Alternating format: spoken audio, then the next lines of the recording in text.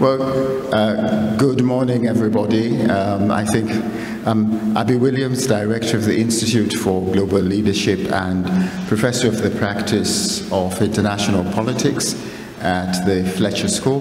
It's very good to see all of you this morning and also um, welcome to all of those who are joining us um, online. We have some people who will be joining us um, uh, later.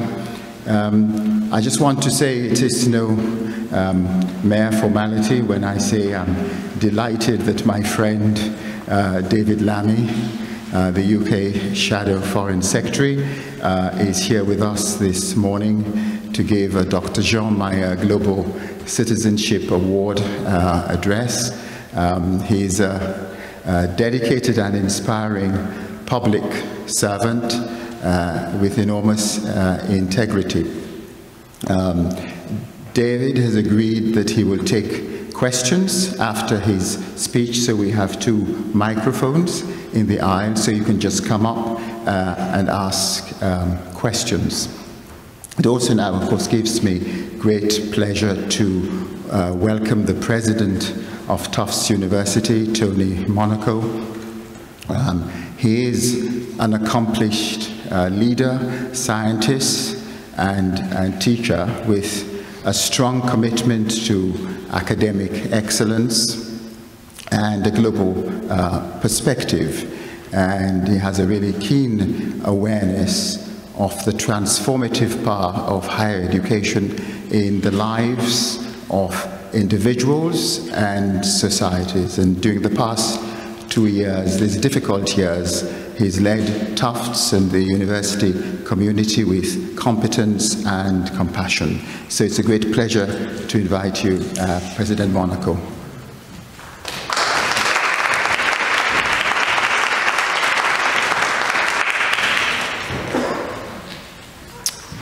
Well, thank you, Abi. Good morning, everyone. It's a pleasure to welcome you to the Tufts Institute for Global Leadership, Dr. Jean Mayer Global Citizenship Award Lecture. I'm delighted that this lecture is being held in partnership with the Fletcher School of Law and Diplomacy. Welcome also to all of you who are joining remotely. The Institute for Global Leadership prepares new generations of critical thinkers who can provide the effective and ethical leadership needed to address the world's most difficult challenges. It also provides a forum for world leaders, renowned scholars, and seasoned practitioners to address topics of contemporary relevance. It's an honor to welcome the Right Honorable David Lammy, Shadow Foreign Secretary of the United Kingdom. Both in and out of office, he has made distinguished contributions to social justice and human rights. It is most fitting that he is receiving a Dr. Jean Mayer Global Citizenship Award today. This award was established in 1933 in honor of former Tufts President Jean Mayer, who believed that scholarship, research, and teaching should be dedicated to solving the world's most pressing problems. I can't believe that this award was established in 1933. This must be a typo. the Fletcher School was established in 1933. I think this award must have been established after Dr. Jean Mayer was president. Uh, in this vein, the Shadow Foreign Secretary's topic, Ukraine and the Consequences for the West, is especially timely and of vital importance. We express our solidarity with the people of Ukraine and our deepest concern by those impacted by the tragedy of this war. Because of Tufts' deep and long history of global engagement, our university is playing an important role in helping to shape the world's understanding of the crisis, as well as supporting members of our community who have been affected by recent events. Before we begin the program, I would like to thank Dr. Abi Williams and the team at the Institute for Global Leadership and the Fletcher School for organizing this lecture. It is now my pleasure to turn it over to Chichi Ikpeazu, who will formally introduce our speaker and present the Mayer Award. Chichi is a senior majoring in international relations and Spanish from South Florida. She took the IGL flagship EPIC course on preventing genocide and mass atrocities in 2020. She is also a research assistant at the Fletcher School Center for Strategic Studies. Welcome, Chichi, and thank you, everyone.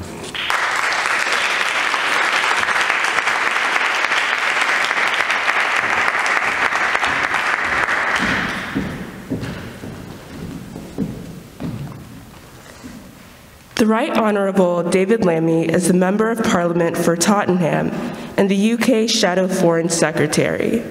He was elected as Labour MP for Tottenham at the age of 27 in, two, in June 2000.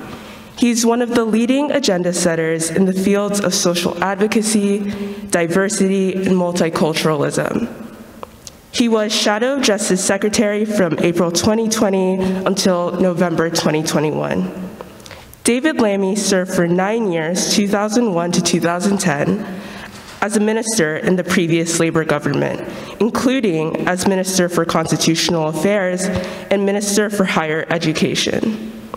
He continues to tackle the big issues facing society on a micro and macro scale and provide tangible solutions to bring about effective change.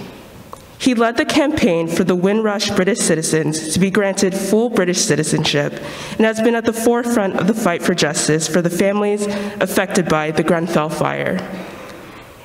In 2017, he published the widely recognized review into the treatment of and outcomes for Black, Asian, and minority ethnic individuals in the criminal justice system. In 2020, he presented a TED Talk as part of their latest Countdown series, calling for a global recognition that we cannot solve climate change without racial and social justice. He is the author of Tribes, A Search for Belonging in a Divided Society, published in 2020, which explores our innate need to belong and how globalization and digitization are deepening the divide in society. Today, I have the honor of presenting the Right Honorable David Lammy with the Dr. Jean Mayer Global Citizenship Award. This award was not established in 1933, it was established in 1993 in honor of Jean Mayer, 10th president of Tufts University, to challenge and inspire students and the community by bringing Tufts distinguished scholars and practitioners whose moral courage, personal integrity, and passion for scholarship exemplify his dictum that scholarship, research, and teaching must be dedicated to solving the most pressing problems facing the world. David Lammy.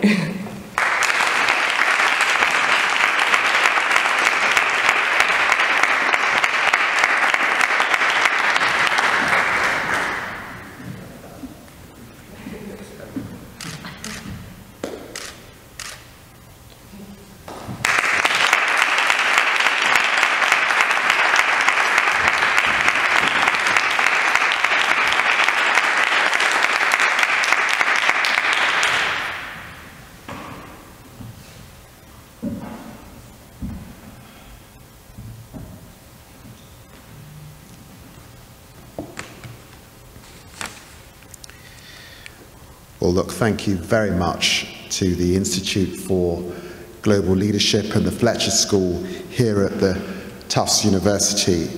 I'm so grateful for you hosting me and hosting me uh, to speak about foreign policy at this extraordinarily important time.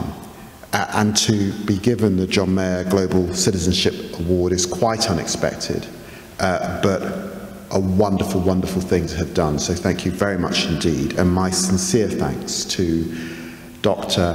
Uh, Abi Williams uh, for his continued support over so many years. I'm very, very grateful indeed. In the late 1990s, I had my first taste of Massachusetts when I studied here, just a short bus ride away at Harvard Law School. It was an inspiring time.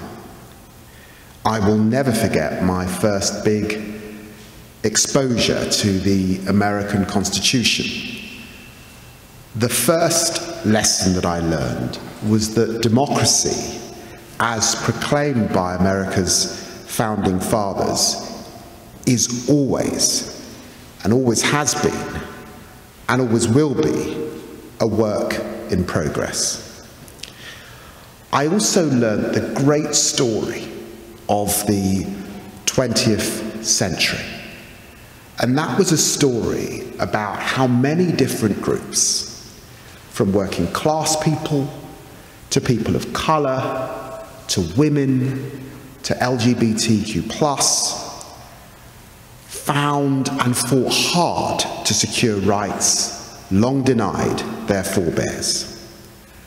Back in the late 90s, so much around us was changing. We were living in the wake of two liberal revolutions. The first was the social and cultural revolution of what's been called the swinging 1960s.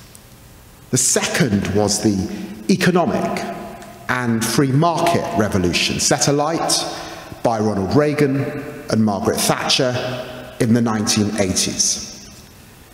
The Soviet Union had collapsed not long before.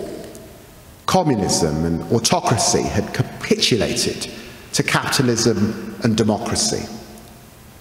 Francis Fukuyama suggested this marked the endpoint of mankind's ideological evolution and the universalization of Western liberal democracy as the final form of human government. Progressives were winning the fight on both sides of the Atlantic. Bill Clinton was in the White House. Tony Blair had just won a landslide victory for the Labour Party in the UK. The march towards a 21st century future was filled with hope. But as we reached the global financial crisis of 2008, that hope had started to evaporate. The twin liberal revolutions had come at a high price, creating a hyper individualistic culture where rights overtook responsibilities, where we could reach billions.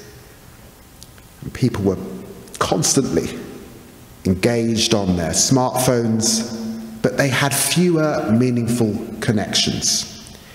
We got richer, but inequality accelerated, and the pursuit of profit was prioritized over democratic values. The age of individualism was defined by another paradox. The more atomized we became, the more we sought belonging in tribal identities. From the relatively benign to the outright destructive. Extremist Islamicist behavior, far right terrorism, organized crime gangs. Online, our opinions did not gain the nuance that results from sophisticated debate and discussion. We gained access to infinite amounts of information, but we lost the guardrails that sorted fact from fiction. Algorithms designed by tech companies to grip eyeballs, push many of us to new extremes. The common ground upon which democracies depend began to crumble, and malign actors, including governments like Vladimir Putin's, turned to ethno nationalistic authoritarian politics and exploited our online spaces to interfere in our democracies with, with disinformation and lies.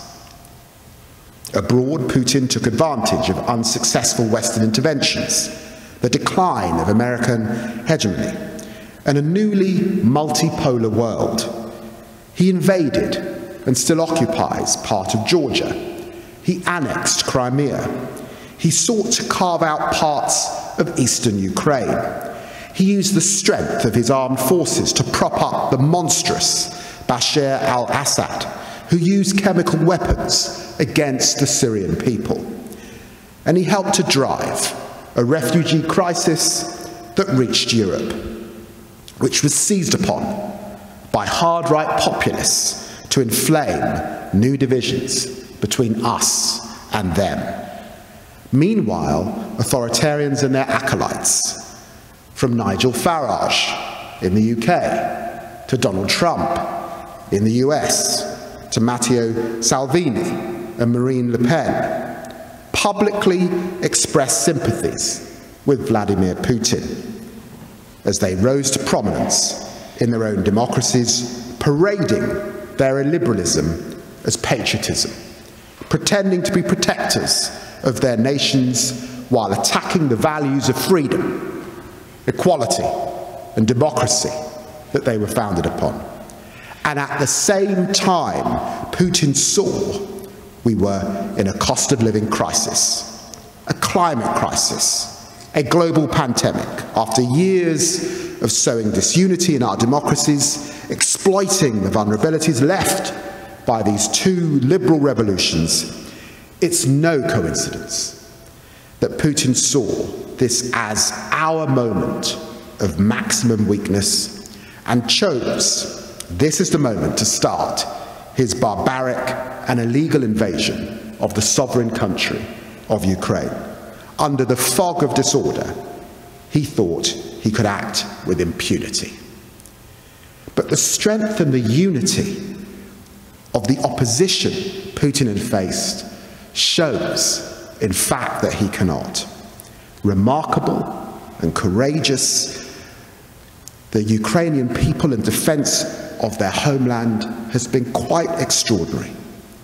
Tougher global sanctions that many thought were possible. Unity within the European Union, previously considered fractured.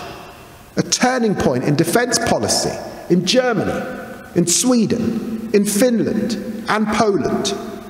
NATO with more focus than we've ever seen since the Cold War and 141 countries in the United Nations General Assembly voting to condemn Putin's war of aggression.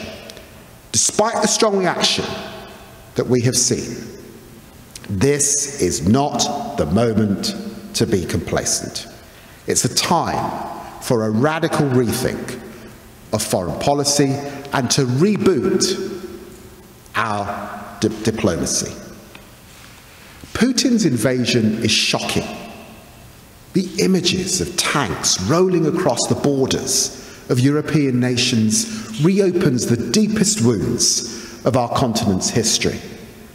Many have said the world has changed, changed forever on February the 24th, and it did. The horrific war in Ukraine is solely of Putin's making but it also highlighted contradictions in the West's relationship with Russia, as well as flaws in our broader foreign policy assumptions. Many in Europe believe the era of wars between states was over. We reshaped our security, our defense, our intelligence, and diplomacy to tackle very different threats allowing our core capabilities to dwindle. Just months before Russia's invasion, Boris Johnson said that the era of tank battles on European soil was over. Now we see tanks rolling across the frontiers in Europe. Borders changed by force, nuclear threats issued, we must adjust our mindset and adapt our thinking. For too long, Western governments, including Britain's Conservatives, believed they could ignore domestic policies which undermined our foreign policy. We tolerated dependence on Russian oil and gas, funding Putin's war chest, regardless of his aggression and despite the urgent need to decarbonize dirty Russian money, the loot of Putin's dictatorship was embraced, from our football clubs to our politics. Oligarchs and kleptocrats use Britain's capital as both the hiding place and the service industry for their ill gotten gains. A spider's web of dirty money spread across London, fueling crime on our streets. making property unaffordable for most, laundering reputations, silencing critics, and sustaining Putin's authoritarian regime. This disregard for the contradictions in our policy has been exposed by this crisis. We must now end the hypocrisy. Too often we saw the world as we wanted it to be, not as it was. Some believe Putin could be moderated and influ influenced by our engagement. What the Germans call change through trade. We have been repeatedly overly optimistic, even naive, particularly when we stood to profit. Even when Putin broke international law and invaded his neighbours, our responses were weak. The tame response to the seizure of Crimea in 2014 is one of the reasons we could not deter Putin this time around. We must be finally realistic about the world view in the Kremlin. We've long known that Putin saw the collapse of the Soviet Union not as a liberation, but as a humiliation, a catastrophe with consequences he told us time and again that needed to be reversed. Putin seeks a sphere of influence, a reconstituted Russian empire, whether we like it or not. Putin believes that domestic survival depends on total dominance of the political sphere, the elimination of opponents, and the fanning of bigotry, nationalism, and nostalgia. He will ruthlessly pursue Russia's interests as he sees them, in zero terms. And he's taken lessons from the Arab Spring, seeing democratic revolutions as contagious. When he saw the 2014 democratic revolution in Ukraine, he feared the dangers of one in Russia as well. It is time to understand Putin on his own terms. But it's not only Britain's Conservative government which made strategic mistakes on Russia. Donald Trump's disastrous spell in the White House, where he cozied up to dictators from Putin to Kim Jong un, while distancing the United States from its traditional allies in the European Union and institutions like NATO and the United Nations, shows the danger of turning against the institutions that were created by the global community after the Second World War.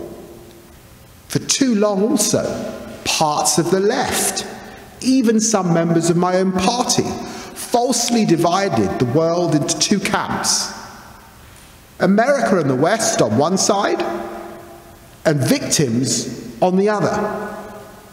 This has never been right. But this view has now been exposed for all to see as a farce.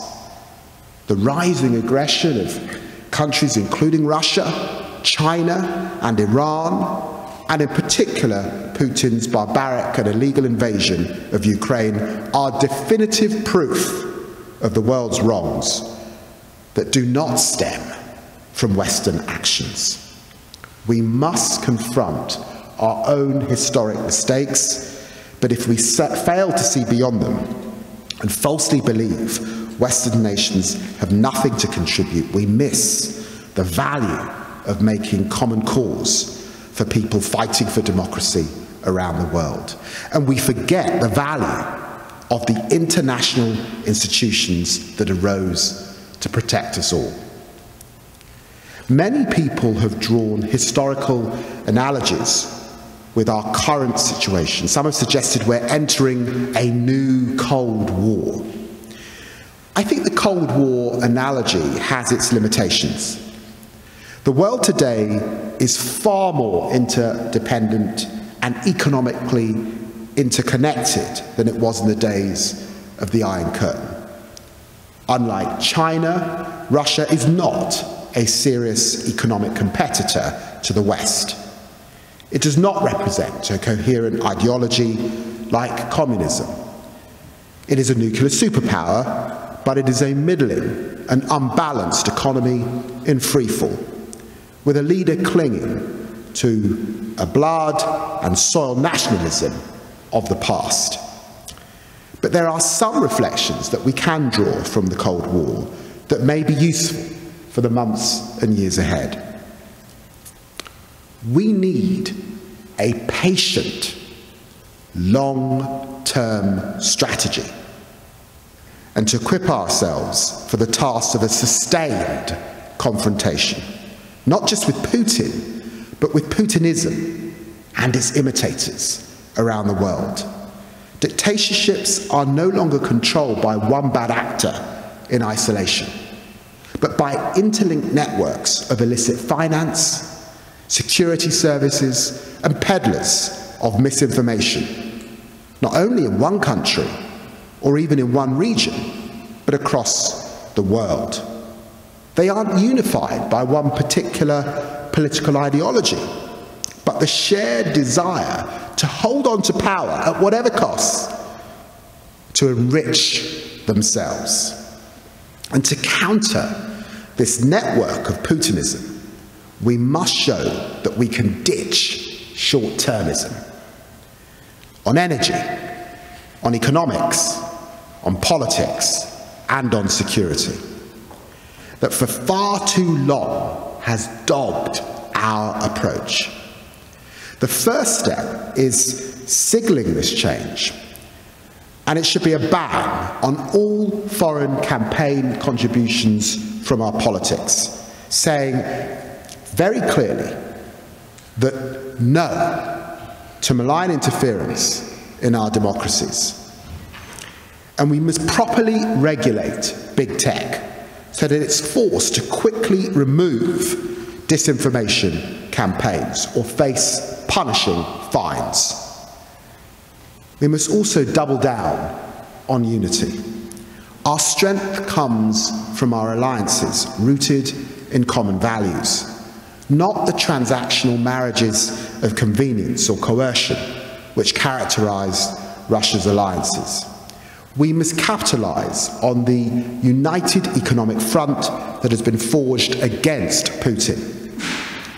In the Cold War, there were mechanisms like COCOM, the Coordinating Committee for Common Export Controls, to sustain common approaches to export controls we should consider whether we need new structures to ensure that the UK, the United States, Europe, Japan, Australia, Canada, and other partners across the globe can maintain a common approach.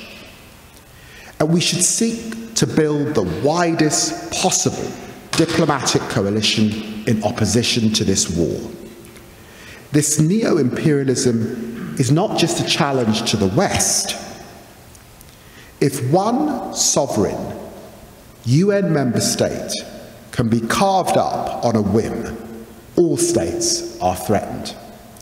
The Cold War also teaches us the imperative to manage the risks of escalation, both lessons to learn and mistakes to avoid. Preventing a catastrophic conflict took strategy and resolve, diplomacy and deterrence and even a little bit of luck. Even before the, this crisis, we had already lost too much of the architecture of arms control built in the Cold War and post Cold War period, such as the INF and Open Skies treaties.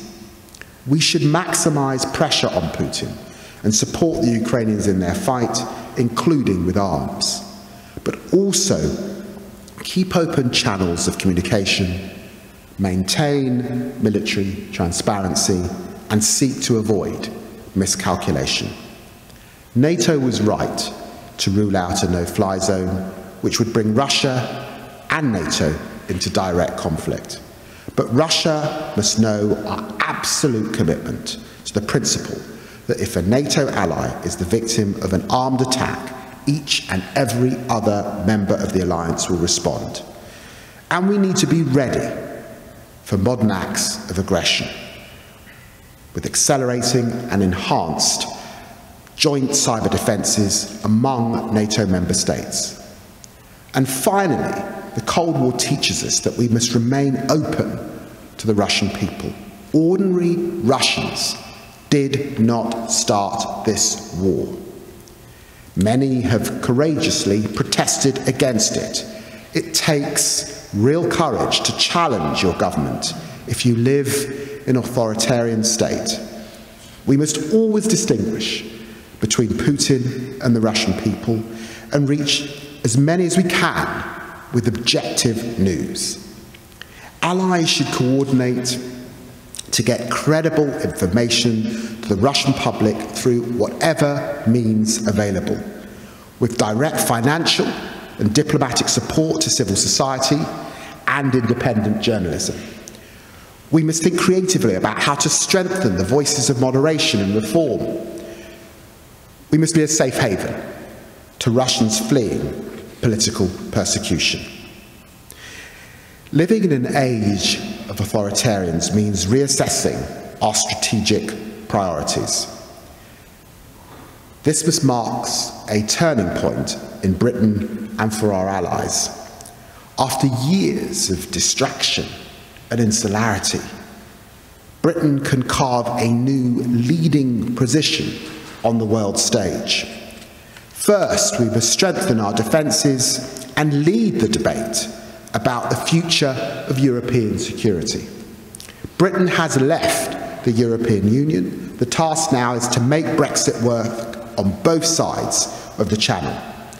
It is time to leave behind the petty diplomatic spats with our neighbours pursued by Boris Johnson's UK government, designed only to serve short term domestic political in instincts. The British government must stop putting peace on the island of Ireland at risk with its reckless threats to the Good Friday Agreement. And we need a government that can rebuild relations of trust and mutual respect with our closest neighbours on the continent, based on our shared values and common interests. We need to end more than a decade of cuts to the army and rethink the assumptions of the integrated review. The government has pursued an Indo Pacific tilt, but it must not do so at the cost of our commitments to European security. A war ravages parts of our continent. We need to put past Brexit divisions behind us, stop seeking rows with European partners, and use this moment to explore new ways to rebuild relations with European allies through a new UK EU security pact. And second, we must sprint towards decarbonisation and end our dependency on dirty fossil fuels. Much of the funding for Putin's war machine has come from us and our partners, running our industries, heating our homes, and filling our cars with oil and gas from Russia, $700 million per day from Europe. We can revolutionise that if we have the will. The UK government has said that the UK will end Russian oil imports to the UK by the end of 2022, and we support this. But on its own, this move will not shield us from rocketing energy prices. Our Prime Minister moves to fill the gap of Russian energy um, has so far been to look to new, different authoritarians to go and buy our oil. And whether it's Iran, Saudi Arabia, or elsewhere, it's short termist, it's ill judged, and it's not learning the lessons of Putin. Fossil fuels empower the worst sorts of dictators. The only true form of energy independence is through clean energy. And this is why a Labour government in Britain would quadruple investment in a green recovery, £225 billion over the next eight years. And third, we must finally end our role as a facilitator of illicit finance and cleanse our society of dirty money. Not just from Russia, but from corrupt, corrupt elites across the world who have used Britain and our overseas territories to hide their ill gotten wealth under our very noses. And fourth, we must restore our soft power. Because it's not only tyrants' actions that we must change, but the minds of their publics. The United States and the UK together do so much good through the development that we lead across the world. But Britain has stepped back from its former leadership, cutting billions in aid and mismanaging the merger of our development and foreign ministries, leaving them less than the sum of their parts. Facing the largest refugee crisis in Europe since the Second World War, the importance of humanitarian aid and long term development could not be greater. One of the UK's greatest exports is the BBC World Service, which plays a unique role both in delivering information to populations living in authoritarian regimes and embodying the free speech and independent media that are the cornerstones of our democracies, reaching nearly 400 million people per week. In the first weeks of the Putin's invasion, the BBC's Russian language service audience tripled and has now been subject to new restrictions in Russia. But the fact that just 13% of Russians see Russia as the aggressor in Putin's illegal war shows the scale of the task ahead. A Labour government would truly value the BBC World Service along a refreshed British Council and be a beacon for our values across the world. I started this speech by saying my time in the United States taught me the great story of the 20th century is one of how minority groups gained rights through liberal democracy. If this is true, the story of the 21st century so far is a story of the reverse. Every year, Freedom House releases a report of the state of global democracy. This year's report was titled The Global Expansion of Authoritarian Rule. These times are dark, but they're not without promise. We should take encouragement from Vladimir Putin's current failure to achieve his objectives in Ukraine.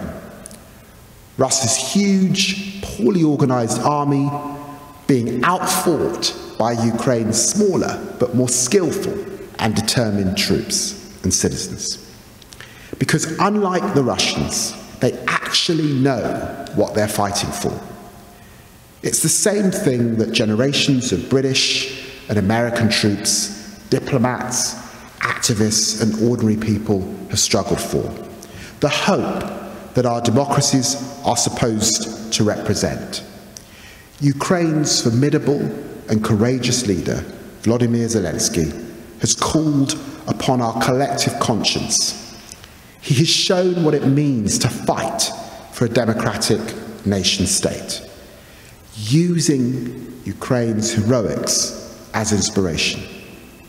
Together, Britain, the United States, the European Union, and the rest of our allies and partners around the world have the chance to move past the age of authoritarians, reaffirming our commitments to the values we share freedom, democracy, and the rule of law, restoring the international institutions that spread them, and giving hope to our nations once again. Thank you very much indeed.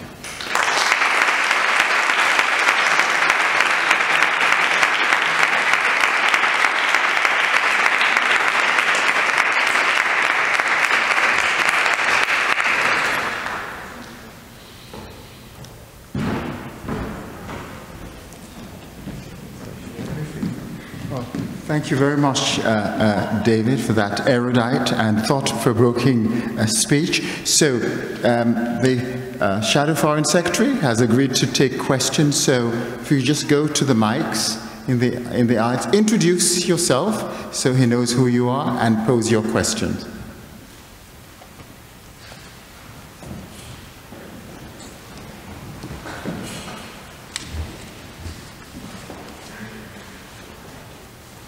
Hi, thank you so much for uh, coming to speak with us today. My name is Ian Boldeston. I'm an undergrad student here at Tufts. Um, it was disappointing to see the Trump's administration move towards unilateralism and a move away from the international community with pulling out of the Paris Climate Agreement, moving to withdraw from the uh, World Health Organization, especially in the face of the pandemic and the clear need for greater international cooperation. But I think this moment with the international community's strong response to Russia in condemning Putin's actions um, and imposing economic sanctions on them has been encouraging in showing the power of multilateralism. You spoke a bit about the UK's need for greater leadership uh, in Europe and for taking action on transnational issues, but I was wondering if you think that this moment, more in general for the international community, has the potential to lead to increased effective widespread multilateralism, um, addressing transnational issues like climate change, like uh, invasion of sovereignty, or do you think that it's more likely to just be more of a one-off moment? Thank you very much. Well, look, that was a wonderful question. Um, I'm very grateful. Um, so here's the challenge. Um, democracies, this work in progress that I first fully came to understand and grip when I was at Harvard Law School, can be a messy and difficult process. Um, here in the United States, there are vexed different political traditions and ideas and ideals. Um, all of us worry sometimes at the nature of that debate, the tone of that debate, the, the partisan nature of what has gripped the United States in more recent times, which is a departure from the ways that the political traditions in both the Republicans and the Democrats have been able to come together to find common cause. And we too in the UK um, have seen that as the traditional centre-right uh, traditions, one nation traditions within the Conservative Party have been jettisoned. And we have a more populism uh, coming from Boris Johnson and indeed my own party, um, experiencing in its previous incarnation um, an anti Semitism that was lurking on the far left of the political spectrum and tradition. Um, so democracies can be messy, and they can be particularly messy when they come together. NATO, uh, an invention that was birthed in part by the British Labour Party in that Attlee period after the Second World War and Ernest Bevin is this amazing alliance. Not a offensive alliance, but a defensive alliance of countries coming together to say we will avoid war in Europe by saying if one is attacked, the other will come in support. Drawing in, of course, the important allies of the United States and Canada and the European continent. But look, it's, it's 30 countries. There can be differences of opinion. Right across from Germany down to Italy. But it's what we have. And it's the best that we have. And as messy and difficult as that is, this is a multilateral moment. So, you know, what's interesting when you look at what's happened in Ukraine and you reflect on COP26, we could have gone further in Glasgow and should have. We should have met that multi, multilateral moment that was presented in Glasgow. And if Glasgow were tomorrow and we have that opportunity in, in Egypt, we must finally accelerate and address the huge issues that are presented by the climate emergency. And I think the other challenge at the heart of your question is coming to terms now with this new multipolar world. And if you like, whilst there are some lessons that we can take from the Cold War period, I said that it had its limitations. And the reason it has its limitations, because really what we saw there was one great superpower, the United States. Now we are living almost in a period similar to that period um, in the run up to the First World War and just coming after it. And in that period, there were different powers, and we're back there again. China, India, the European Union acting together, Russia, the United States. This is a multipolar world. And we have to focus on our common interests and our values and maintain and renew those multilateral forums that bring us together. And that will need some new architecture.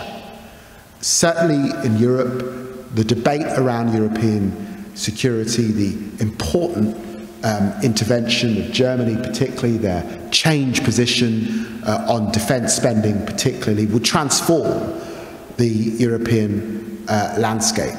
But this is a pressured and challenging time because, of course, it's also right here in the United States and indeed perspectives in Europe that this Indo Pacific tilt, the importance of the Indo Pacific, the importance of China requires us to operate along many, many fronts.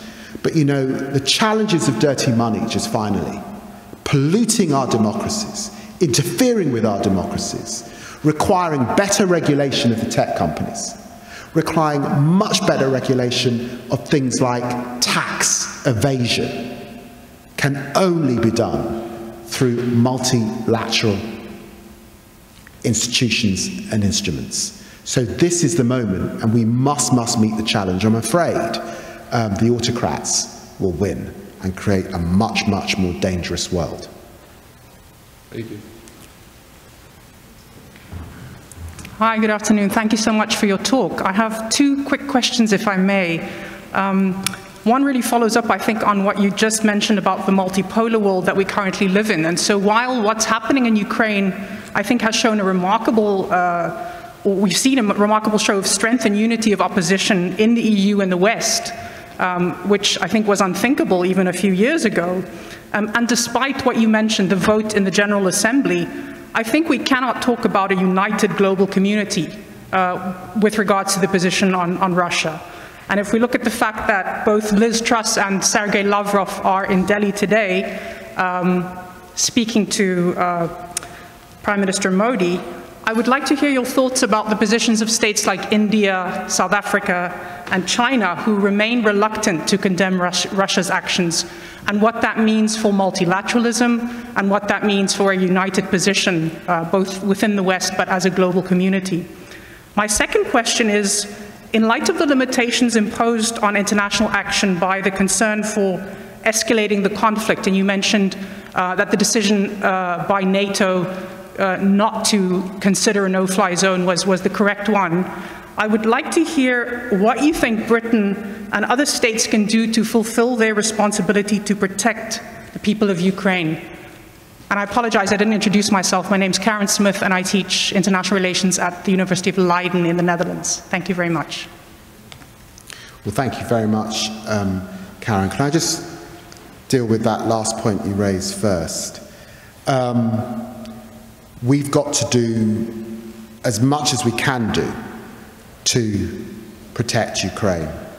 Um, I focus a lot, obviously, on politics and diplomacy, but let's be absolutely clear that means with every military assistance, and it has been very important to arm Ukrainians, to arm them with anti tank missiles, to arm them with anti air missiles, um, to continue to do that in a coordinated way, um, both across NATO allies uh, and beyond, um, and to limit the ability for Putin to wage war. We've cut his reserves. The sanctions has cut his reserves in half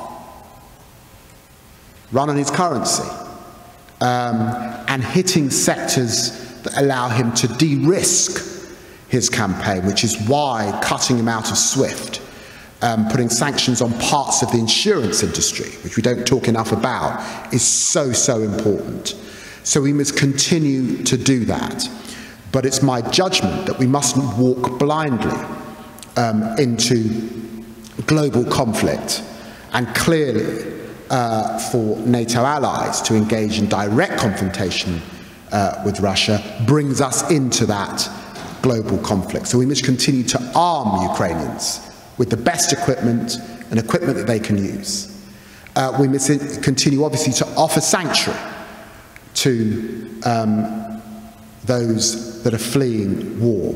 And here, I'm afraid, very sadly, the government of the United Kingdom has not lived up to the expectations of the British people, the country that offered sanctuary for Ugandan Asians, the country that offered sanctuary for people fleeing the Balkans, the country that offered sanctuary for Vietnamese boat people, for Cypriots and for others, has not lived up to that promise.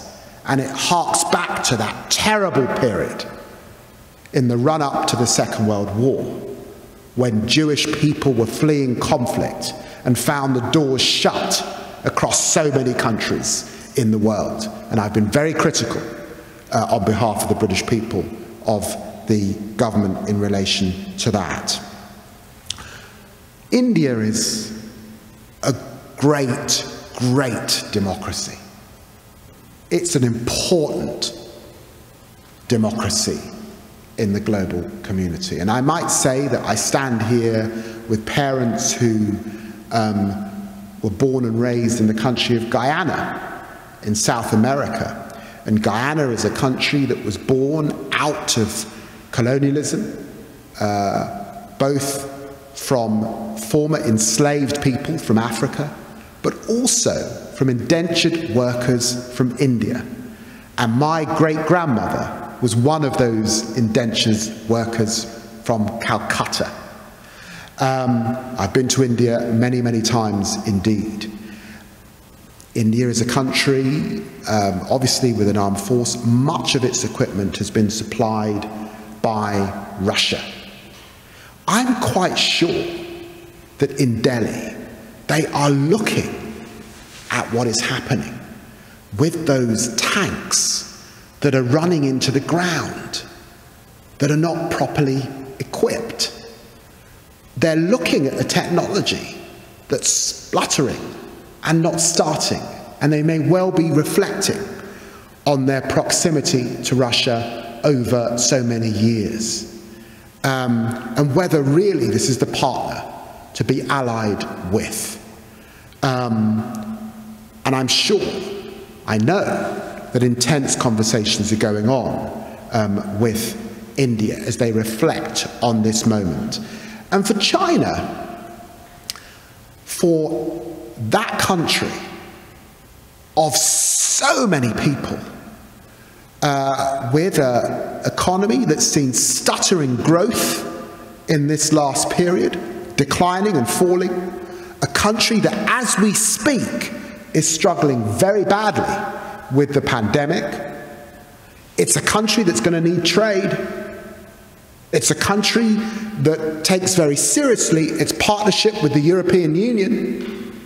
And I hope that China makes the right call in the coming days and weeks as it reflects on the partnership that the global community has seen with Russia and the immense concern that that is causing um, uh, in countries like this. And it also, I think, in China uh, reflects on not just what governments do and their ability to sanction and work united, but also what individual people do in free democracies, who are now saying, well, actually, look, if Nestle aren't going to pull out, we're going to boycott Nestle. It reminds me of the boycotts in the period of the fight against apartheid in South Africa that I was part of when I was younger. That's the power of individuals seeking to exercise their ability to choose not to invest or not to buy that smartphone or whatever it is from China. So, this is a moment, of course, where I would like more people in that alliance against autocracy. But I, th those conversations, I suspect, are going on um, in very, very real time um, in those communities. Uh, and let me just say one other thing. Um, it's important to recognize that there's a sort of outrage at what we're seeing this invasion of a sovereign, democratic country. But it is also important to say, very, very squarely, that there are other conflicts in the world. That we should be concerned with what's happening in Afghanistan as people are starving to death we should be concerned what's happening in the Yemen. We should have raised much more noise about Syria. Ethiopia is a real challenge. And of course, the plight of the Palestinian people as well and the occupied territories. Um, and we have all got to reflect on the urgency of these other issues across the world that require our full attention at this time. And also the campaign that people are waging in those countries for the ability to fight for their rights and their freedoms and their survivals. And we should ally with them as well.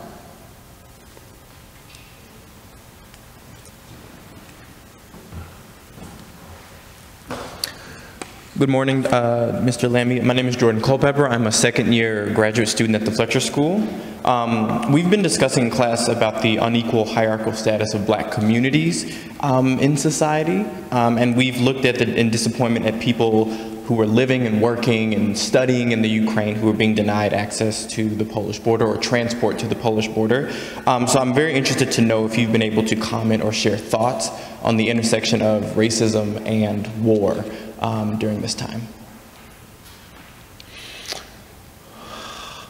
You know, I said that one of the things I learned when I was here in the United States is that great story of the 20th century, where so many people at the beginning of the 20th century were denied rights.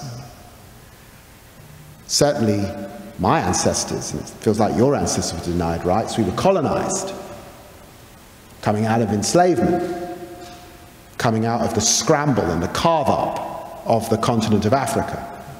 But we know too, don't we, that working people around much of Europe and much of the settled uh, economies of the United States and Australia and Canada and places like that were also denied rights and had to fight very hard to get those rights, working class people. And women because of the campaigning of suffragettes, people like Emmeline Pankhurst, Eleanor Roosevelt this country and others, gaining rights, but still so much to do. Never mind LGBTQ communities. Denied that right to self actualize, to be who you want to be, and to be free of discrimination. And that fight goes on, but because of the work of Martin Luther King, Harvey Milk, Emmeline Pankhurst, and so many others, those rights felt for the first time.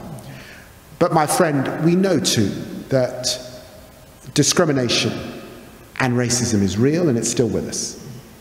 You know, I was looking at some open source intelligence, it's freely available um, if you want to go and look at it, um, that looked at some of the Russian casualties during this crisis and this invasion of Ukraine. Uh, and it looked at the names of those Russian soldiers who were lying in hospitals or who were ill or who had been killed.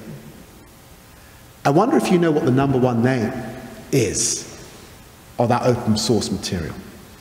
Because it might surprise some of you. The number one name of those Russian soldiers was Mohammed. It was Mohammed because Vladimir Putin is using young men from far flung parts of the remote Uzbekistan, Kazakhstan, young Muslim boys, often very poor, fleeing poverty, and he is sending them to their slaughter in Ukraine. And yes, of course, I have seen both in Ukraine and in Poland, and of course, I've had discussions um, with the Ukrainian government. I was glad that they responded, um, um, issued a helpline to help particularly um, black and Indian students, African students out of Ukraine by uh, ringing this helpline um, to get out. Racism is real across the globe. It's an issue, it's a fight that continues, of course. Um, it, it, does not know, um, it's not bound by countries, and it's certainly not unique to the United States. It's present all across the world. And I think it's also important to remember um, that there are many communities, and I, you know, one of the things that I've always tried to do is champion the rights of indigenous communities, often get forgotten uh, in their fight for freedom and their rights um, in that discussion. So, yes, it's real, and yes, we continue that battle. Thank you.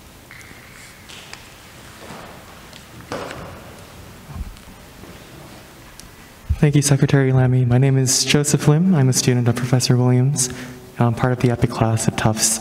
I had two questions in particular, and first, congratulations on your government for securing the release of two prisoners in Iran for living all that time in incarceration. And I was wondering, for the first question, if you had played a personal role in the release and the creative diplomacy that the UK government took in releasing them. And also, in the spirit of creative diplomacy, if it's the time now to express that spirit or the spirit of solidarity against Russia in the context of the JCPOA, the Iran agreement, um, where the UK plays a role as the P5 plus one negotiator in negotiations. Um, do you think that further solidarity against Russia would deter Russia from making meaningful progress in denuclearizing Iran? And do you think there's a trade off between the two? Thank you. Well, thank you very much for that question. And the situation in Iran should concern us all. I, just a few weeks ago, was with two young men, um, 123, 124. I met these young men at a refugee camp in Calais. These young men have been caught up, very sadly, in a debate that's sometimes called Fortress Europe, uh, and a very vexed debate that we've had in the UK about refugees. But I just want to talk about these two young men because who are these two young men that I met just three years ago? Well, they're both ethnic Jews from Iran who are terribly persecuted and treated in that country for being who they are um, and for wanting to follow the Jewish faith. And these young men had to flee. They do not know what has happened to their parents and their loved ones.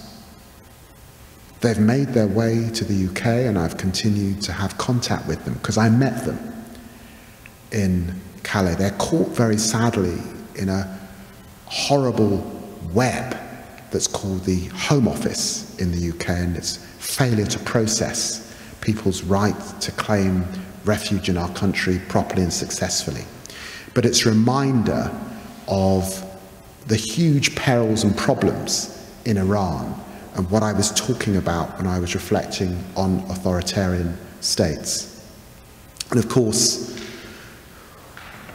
one of the central issues that's preoccupied the global community in dealing with Vladimir Putin um, is the fact that we are talking about a nuclear superpower. Um, and we've heard Vladimir Putin using nuclear threats in order to get his way in Ukraine. By the way, when I was in Kiev uh, before the invasion in early January, and indeed I've been to Kiev before, uh, I was there just four years ago, very good friends in Kiev. Um, what they say is we gave up our nuclear weapons. 1995, we gave up our nuclear weapons. They had an arsenal of 5,000 warheads and they got a security guarantee from the US, the UK, and Russia in order to go. And some people say in Ukraine, if we hadn't have given up our nuclear weapons, we don't think we'd be in this position today. And it's why we must stand with them so very firmly. Um, and it's really important because if we don't stand with Ukraine, then there will be other states that think, well, actually, let's get some nuclear weapons. That is the path that Iran is on. It's a dangerous path, this enrichment of Ukraine. And it could escalate things terribly in the Middle East, because if Iran were to have nuclear weapons, then there are other countries who would think, well, let's have some nuclear weapons as well. It'd be a dangerous, dangerous escalation. We'd have nuclear weapons in the hands of an autocrat. By the way, it's why it was such a horrendous mistake by Donald Trump to walk away from that agreement that had been rightly brokered. Uh, and it's my sincere hope that we can reach agreement once again in the coming weeks. And now this is a matter of urgency. You're absolutely right. Russia is part of that conversation. And I said before, you know, we have to find ways, despite war and conflict, and we found them in the Cold War, to still be able to have the necessary conversations for the purposes of the global community. We cannot fix climate change without China, without Russia, without Iran. We have to put these issues above um, the day to day. And similarly, uh, we have to get agreement in the JCPOA. We've got to get agreement um, to limit um, and to move forward and to be able to ease the sanctions burden on the Iranian, Iranian people in return um, for stepping away from that enrichment that has been happening because, accelerated, because Donald Trump took that disastrous decision. Thank you for the question.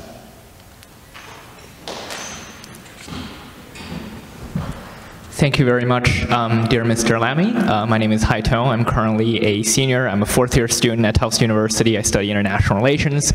And um, thank you very much for your um, answers regarding foreign policy issues. I have one real quick regarding your uh, record on education, uh, particularly educational policies, um, particularly with your critique um, of Oxford University for its anti-black racism, which I tremendously admire you for. Um, at Tufts, the incoming class of 2020 2026, 11% um, of the admitted students from the United States identify as black or African American, albeit that is still lower than the percentage of 12.4% um, of black people overall represented in the United States. Um, but also at the same time, although Tufts and other institutions have been trying to make progress, um, waves of lawsuits have nominally come from Asian American communities who claim that their children are being discriminated against by affirmative action. And in the UK, uh, of course, course, Home Secretary Priti Patel, um, with paternal grandparents coming from India who had then lived in Uganda, has been one of the most vocal critics of um, what, what, what she and what, what many of her allies would consider as, as, as, as, as the left that are, that are discriminating against the nominally hardworking Asian communities. So to what extent do you think the Labour Party should be proactive in terms of responding to these potential critiques, warranted or unwarranted? Thank you. Well, look, thank you very much um, for the question. Let's just go back to the basics. Why is Tufts such a great university? What makes it special? What makes Harvard Law School down the way special? What makes the School of Orient and African Studies, where I went for my first degree, special? It's the fact that in these amphitheatres of brilliance and excellence, great minds come together, and those minds are a cross section of ideas and thoughts. There's something special about universities like this one because of that interdisciplinary coming together. So you don't get a university until you have the social scientist sitting with the scientist, um, you know, sitting with the philosophical theorist, sitting with the design technician, and applying that knowledge together. That's what makes a great university the ability to bring these people from different disciplines together. And what we're also learning is that it's even better when you bring people together from different social, ethnic, religious, racial, gender, sexuality backgrounds. It makes the conversation, it makes the possibilities richer as a consequence. So, by the way, my challenge, which is now a few years old, to give uh, Oxford and Cambridge universities credit, um, was not just a challenge on the relation on behalf of black UK citizens. At the time when I did the work, when I looked at some of the colleges at Oxford, I found that there were working people. There were more young people from two London boroughs, the, bar- the boroughs of Barnet and Richmond. These are pretty wealthy London boroughs. There were more young people from these two London areas than the whole of Leeds, Sheffield, and Manchester combined. That wasn't about race, that was about class. Never mind the fact that at the time there were more young people with the surname Smith than there were African Caribbeans. And by the way, let me be absolutely clear when I looked at the figures, I was looking at the African Caribbean figures and who were getting straight A's in their A level exams, which is the exam you take to get into. And there were, there were hundreds of kids, and they still were not getting in. When I came to Harvard, what I found was a diverse place. And it's that, I've, you know, I was, I was studying with veterans. I was studying with Asian Americans. Uh, more to do but that richness was very important, and I'd come from SOAS before. So it, that's important. And there is more to do. That's why, of course, there must be a role in different ways, and different countries will apply this in different ways for affirmative action. Some countries use it at the university stage, other countries will use it um, uh, in terms of access to housing or, or, or, earlier in the education process. That is for different democracies to determine. But I think that there is a role to level up the playground. And the best way, the, the, the playing field, and the, the best way to see that is actually in the UK Parliament. The UK Parliament, I say this finally, is making better decisions as a result of the many, many more women that we have in the UK Parliament. And many of those women have benefited, particularly in my own party, from um, from the leadership of my party saying, look, we're not going to tolerate a situation where individual constituencies aren't selecting women. We're going to have all women shortlists. And under David Cameron, centre right, him making decisions also effectively to put in affirmative action so that women and minorities could start to come through. And you see that now on the Conservative Party benches. So this ought not to be a partisan issue. It really ought not to in the 21st century. Thank you very much for the question. Thank you very much, uh, uh, David. I know there are lots of questions, but I think we, we have to wrap up now. Thank you for being with us, and I think on that optimistic note, we can, we can end the session. And join me in thanking uh, uh, David Lammy. Thank you very much.